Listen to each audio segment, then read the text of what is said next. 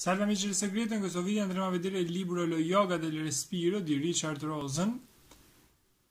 Non c'è asana senza pranayama, gli insegnamenti tradizionali, gli ostacoli in cui si imbatte il principiante, mappe, le indicazioni utili alla pratica e l'impiego di semplici sostegni per gli esercizi, coperte, sedie, mattoni, cuscini, Vedremo quindi consigli molto pratici e spiegazioni chiare riguardo alla giusta pratica del respiro e cominciamo subito con il riassunto del video.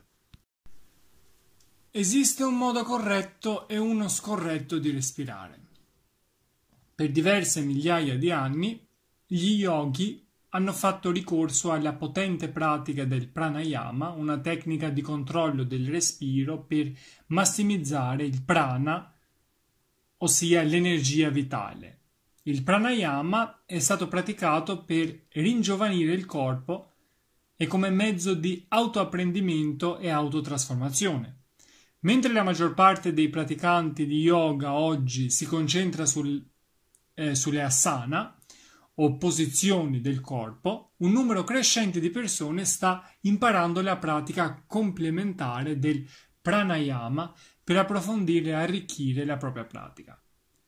Lo yoga del respiro è una guida per imparare i fondamenti del pranayama e incorporarli in una pratica yoga esistente.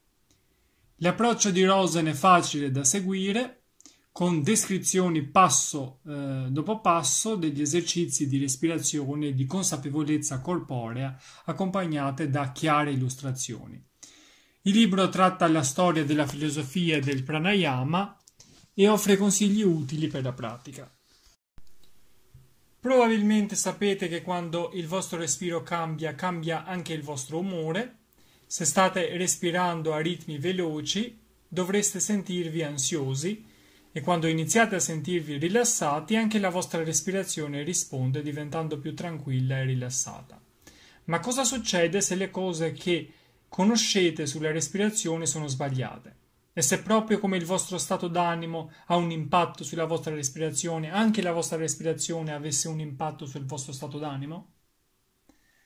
Come vedrete in questa sintesi, il modo in cui respirate durante il giorno ha un grande effetto sulla vostra salute psicofisica. Purtroppo però molti di noi respirano male. Questo causa notevoli problemi per la nostra salute. Cosa suggeriremmo ad una persona che deve calmarsi? Bisogna dirgli di fare un respiro profondo. Le persone che praticano lo yoga conoscono da secoli il legame tra respirazione e consapevolezza. In effetti il controllo del respiro è una componente fondamentale della tradizione yoga. Questa pratica prende il nome di pranayama, che deriva dalle parole sanscrite prana che indica il respiro e ayama che indica il controllo. Si ritiene che il pranayama sia nato dai sacerdoti eh, bahama, bahamanici, brahmanici, scusate, antichi uomini santi che adoravano cantare gli inni chiamati Veda. Questi sacerdoti riconobbero che se avessero controllato il loro respiro mentre cantavano, avrebbero potuto recitare i Veda più intensamente. Soprattutto respirare in modi diversi permette di cambiare il proprio stato d'animo. Tuttavia, i vantaggi della pratica del pranayama superano il culto iniziale. Viviamo in un mondo di stress dove molti di noi trascorrono molto tempo alla scrivania. Il pranayama può rappresentare un'ottima medicina contro l'ansia e il malessere. Il più delle volte una respirazione errata deriva da una cattiva postura, da muscoli respiratori deboli o semplicemente da un'ansia cronica. Ma come si presenta una respirazione scorretta? Le persone che respirano in modo inefficace fanno respiri rapidi, leggeri e preferiscono usare la bocca per respirare. Tutti noi abbiamo avuto momenti di panico, ma respirare in modo inefficiente per tutto il tempo può comportare problemi significativi per la salute. Respiri rapidi e leggeri riducono la quantità di anidride carbonica nel sistema circolatorio, e questo riduce il ritmo di circolazione dell'ossigeno nel corpo e nel cervello. La conseguenza? La scarsa ossigenazione provoca, un aumento o un'anomalia del battito cardiaco e un'ansia cronica. Può anche trasformarsi in una eh, persona distratta e smemorata. Al contrario, una respirazione efficiente e corretta ci fa sentire immediatamente rivitalizzati. Le persone che respirano in modo efficiente fanno respiri lenti e profondi, a differenza di chi respira male, che respira dalla parte superiore del petto, chi respira in modo efficiente usa l'intero diaframma e il busto durante la respirazione. Inoltre, durante la respirazione ehm, si usa il naso invece della bocca. La respirazione nasale riduce il ritmo della respirazione e consente ai polmoni di ricevere molto ossigeno a ogni respiro. In questo modo il corpo raggiunge una proporzione salutare di ossigeno e anidride carbonica, oltre ad avere una mente più chiara e uno stato più calmo. Dovreste iniziare il vostro viaggio nel pranayama con una mente calma. Il significato di pranayama è quello di imparare a controllare il respiro, ma non è l'unica cosa di cui si occupa questa antica pratica. Come componente della tradizione yoga, il pranayama è completato da rituali specifici da seguire. Questi rituali di base diventeranno una parte fondamentale della vostra pratica, proprio come il controllo del respiro. I rituali più importanti del pranayama riguardano l'armonia, il tempo e lo spazio. La tradizione dello yoga sottolinea l'importanza della regolarità. Dovreste avere l'obiettivo di praticare il pranayama ogni giorno, ma potete saltare uno o due giorni se necessario. Il momento migliore per praticare il pranayama è l'ora di Brahma, cioè l'ora che precede l'alba. Nell'ora di Brahma la mente e il corpo si calmano e si risvegliano dal sonno e l'atmosfera è carica di energia cosmica. Se la routine mattutina non è adatta a voi, potete scegliere un'altra ora. La cosa più importante è praticare ogni giorno alla stessa ora. Dovreste dedicare uno spazio fisico alla vostra routine di pranayama Scegliete una stanza che vi renda tranquilli e sicuri, andate a praticare con abiti larghi e comodi e a stomaco vuoto in modo che la digestione non vi distragga. Iniziare con calma è importante perché concentrarsi sul respiro è difficile se ci si sente arrabbiato e infelici. Potete calmarvi aggiungendo una breve routine di apertura all'inizio di ogni sessione. Iniziate questo rituale guardando verso est questo è il modo in cui sorge, eh, è, mo- è la posizione in cui sorge il Sole e inoltre gli yogi credono che l'Est sia il contenitore dell'essenza del mondo. Successivamente trascorrerete eh, un po' di tempo in silenzio, usando eh, questo tempo per pensare a come dedicare la vostra pratica al divino anche gli aspetti più pratici sono importanti ricordate che durante la routine di pranayama dovreste respirare attraverso le narici. Ciò significa che dovrete pulire i seni eh, paranasali. Inoltre, tenere un diario del proprio percorso di pranayama è un'ottima opzione. Seguire la pratica eh, con questo metodo vi permetterà di organizzare le sessioni durante il percorso, mantenendo le cose che funzionano per voi e scartando quelle che non funzionano. Riconosce il vostro vero sé. Poiché siete un nuovo studente di pranayama, è probabile che siate entusiasti di iniziare la vostra pratica, ispirati a migliorare il vostro respiro e le vostre sensazioni. Molti studenti entusiasti iniziano il loro viaggio nel pranayama con pratiche di respirazioni complesse e questo è un problema perché non hanno ancora sviluppato le basi della loro pratica. Perciò prima di affrettarvi a partire ricordate per capire dove volete arrivare dovete prima riconoscere dove siete. Prima di iniziare il pranayama rilassatevi con una pratica che vi aiuti a conoscere meglio la vostra mente e il vostro corpo. Per farlo fatevi aiutare dal testimone. Rosen chiama il testimone un amico che vi aiuta a vedervi in modo obiettivo. Questa persona non ha alcuna aspettativa, vi aiuta a capire che i vostri sentimenti e le vostre opinioni sono del tutto temporanei non possono descrivervi, è probabile che siate tentati di esaminare o giudicare le situazioni temporanee che scoprite da soli. Il testimone vi guida ad ammetterle e basta. Se non l'avete ancora capito, il testimone non è una persona diversa, è invece una forma diversa di vedere il mondo che potete controllare da soli. In che modo potete connettervi al vostro testimone interno? Iniziate con il rilassarvi su una sedia e chiudere gli occhi. Ora immaginate di allontanarvi dal vostro corpo e di fissarvi da quella piccola distanza. Pensate di fissare un affascinante mistero da risolvere. Ora fate scorrere l'occhio interno su tutto il corpo, dalla punta dei piedi alla eh, sommità del capo. Che effetto fa sentire ogni parte di voi stessi, dalla pelle alla schiena alla fronte? Che cosa vi rendete conto del modo in cui il vostro corpo respira? La pratica del testimone è utile perché vi fa capire che il modo in cui respirate normalmente può non essere quello giusto. Dato che siete nuovi studenti, potreste esservi resi conto che prima non eravate consapevoli della vostra eh, respirazione autentica. Si può scoprire che alcuni modi di respirare sono inefficaci o inutili. Un ulteriore vantaggio è quello di osservare che dopo aver visto il proprio modo di respirare, eh, sbagliato, questo comincia a migliorare da solo. Sarebbe però stupido intraprendere un viaggio senza avere una mappa. Lo stesso vale per il viaggio del pranayama. Tuttavia non si può acquistare la mappa del eh, pranayama in un negozio qualsiasi, piuttosto dovreste ehm, crearla voi stessi con un piccolo tocco del vostro testimone. All'inizio della vostra routine di pranayama mapperete la superficie del vostro corpo anche nelle parti che non potete guardare.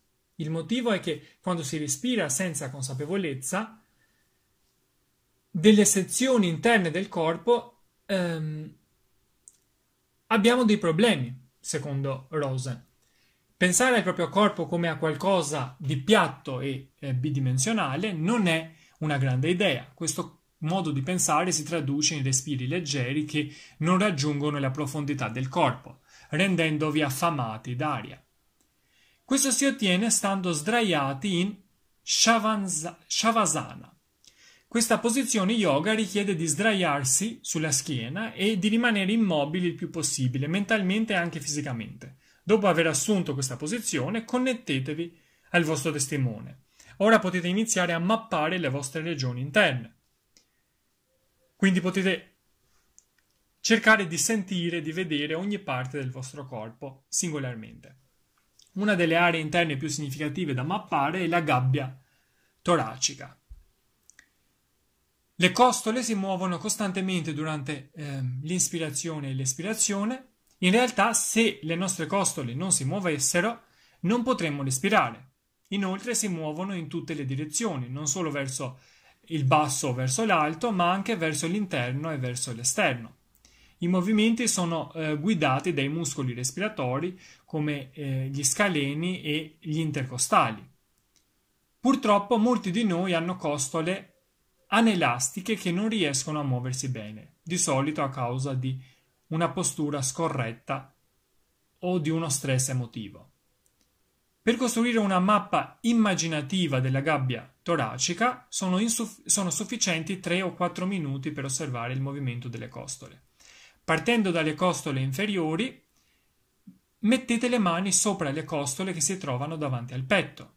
Alla fine sollevate le mani verso l'alto avvicinandole alla parte superiore della gabbia toracica, incrociando le mani.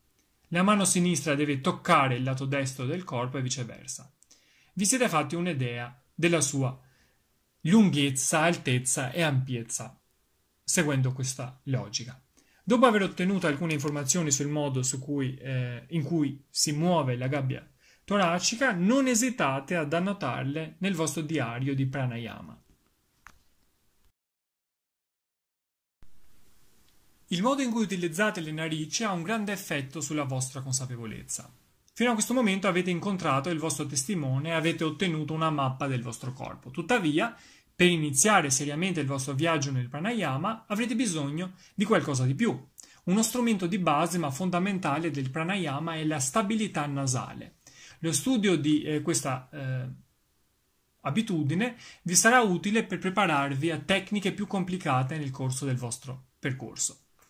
L'equilibrio delle narici è fondamentale poiché il respiro non fuoriesce in modo uniforme da entrambe le narici. In qualsiasi momento si respira principalmente nella narice destra o sinistra, mentre eh, quella opposta è leggermente bloccata. Questo fenomeno prende il nome di dominanza delle narici. Senza saperlo si passa da una narice all'altra ogni due ore circa. Quando si respira con la narice sinistra, il cervello destro è più efficace. Secondo la tradizione yoga, il cervello destro è correlato a Idanadi, che è conosciuta come la parte più pacifica e femminile. Al contrario, se si respira nella narice destra, è il cervello sinistro a dominare. Il significato è che Pingala Nadi, la parte maschile e selvaggia, diventa eh, più attiva. È significativo che gli yogi non cerchino di cambiare la narice che stanno usando con l'altra, al contrario, modificano il modo di respirare in modo da utilizzare entrambe le narici contemporaneamente. Questo equilibrio è una componente fondamentale dello yoga. In realtà la parola yoga viene solitamente spiegata come equilibrio. L'equilibrio del flusso d'aria di entrambe le narici riduce i pensieri, le opinioni e i sentimenti che disturbano la nostra consapevolezza. Gli yogi bilanciano eh, le narici con un bastone a forma di stampella chiamato danda in modo tradizionale. Tuttavia è possibile ottenere l'equilibrio nasale utilizzando solo le mani. In primo, in primo luogo si preme il dito su un lato del naso in modo da bloccare la narice da quel lato. Successivamente respirate con la narice ancora aperta. Prendete mentalmente nota della facilità con cui l'aria passa attraverso quella narice. In seguito eseguite lo stesso metodo per l'altra narice, la narice in cui l'aria passa più semplicemente è quella dominante. Si può praticare il pranayama rallentando alcune sezioni del ciclo respiratorio. In sanscrito il significato di eh, uyaji è conquistare, quindi il seguente strumento è il pranayama ujjayi, chiamato anche respiro del conquistatore. Per eseguire con precisione il respiro del conquistatore è necessario gonfiare eh, il petto come una sorta di generale militare. In questo modo i polmoni useranno tutta la, vo- la loro capacità, quindi bisogna gonfiare al massimo una sorta di... Eh, come una persona, ad esempio, che eh, si presenta davanti a voi con massimo orgoglio. Per prepararsi al respiro del conquistatore, sedetevi dritti o sdraiatevi. In primo luogo, uniformate le narici con la tecnica del pugno chiuso. Una volta terminata questa operazione, è bene che il testimone osservi il modo in cui si respira. A questo punto non bisogna cercare di controllare la respirazione, piuttosto osservate solo ciò che sta già accadendo i difetti, tutto il resto. Se siete capaci, non vedete voi stessi come eh, se respiraste, ma immaginate il vostro corpo come se respirasse eh, per voi. Quindi distanziandovi in un certo senso dal vostro corpo. Dopo qualche istante in cui vi siete resi conto della vostra respirazione abituale, è il momento di correggerla. Concentratevi sulla riduzione della velocità del respiro Mentre rallentate le ispirazioni e le espirazioni, pensate a come è cambiato il vostro stato d'animo. Vedete una differenza dopo aver iniziato ad, is- ad inspirare più lentamente? E com'è la situazione mentre espirate lentamente? Dopo esservi posti queste domande, siete pronti per iniziare il respiro del conquistatore. Iniziate a respirare in profondità nel vostro corpo. Immaginate il vostro respiro come un ascensore che sale, sale dal piano interrato, che è il vostro inguine, in seguito va all'ultimo piano lattico situato nella parte superiore del busto. Mentre inspirate, lavorate per espandere il petto verso eh, lo sterno e la clavicola. L'espansione di queste parti creerà un'area maggiore per l'ingresso del respiro. Rendetevi conto che mentre respirate iniziate a sentirvi più leggeri, proprio come un palloncino che potrebbe volar via. Potete compensare questa leggerezza ancorando il vostro respiro al suolo. Per farlo allungate il eh, coccige avvicinandolo al pavimento il più possibile. Questo grande respiro dovrebbe farvi sentire pieni di energia e pronti a tutto.